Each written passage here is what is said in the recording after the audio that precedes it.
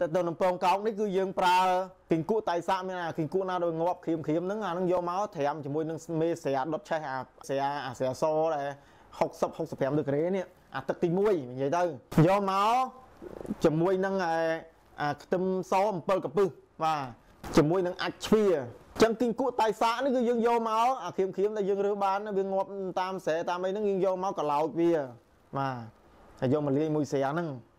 ហើយបុកខ្ទឹមសនេះ7កពឹសហើយយកទៅលាបសាឡាបសាឡាបពីលើថ្ងាសអាពងខាងខាងធំហ្នឹង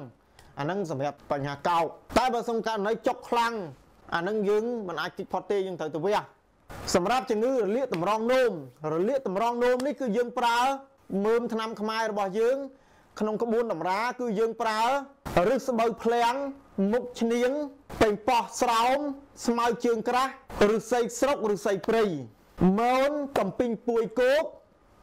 រលួសបាយក្បាលមនាស់មនាស់អាយើងយកផ្លែវាយើងកាត់ត្រឹមក្បាលណាក្បាលមកខាងលើណាក្បាលមនាស់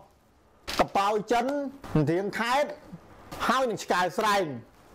ហើយនឹងវល់ឪជុំ